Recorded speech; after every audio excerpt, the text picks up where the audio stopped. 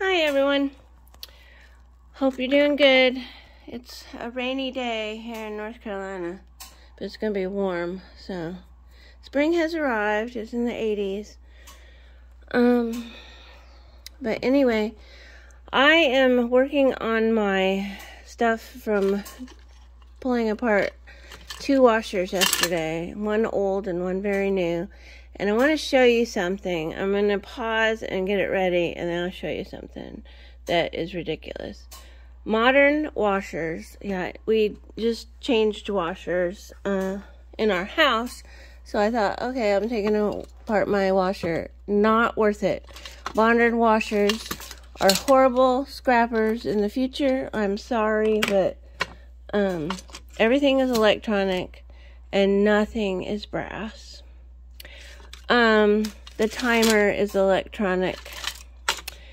I don't know if this is it, but this is a uh, digital switch. All of the knobs had these on them.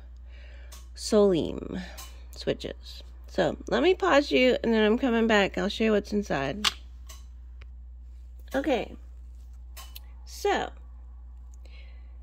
you can see here, sorry, not in focus or uh, frame the board has probably brass on it, but you can't get that brass off unless you, or it's gold plated, or it's gold plated. I don't know.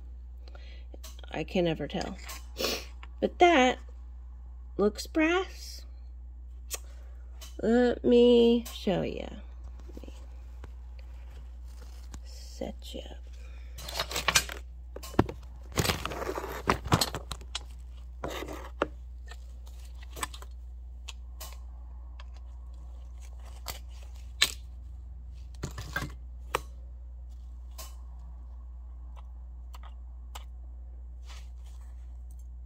I think it's stainless, maybe, but it's still too sticky for my Liard to accept things like that. So, there you go. That's what my modern washer had in it. And it was about five years old. And modern washers from China just don't last. Don't buy GE if you can possibly help it.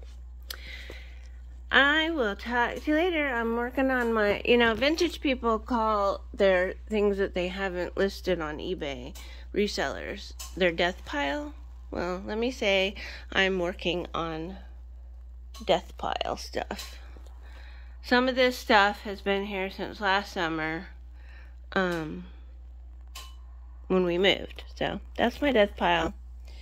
I'm working on it. Talk to you later, guys.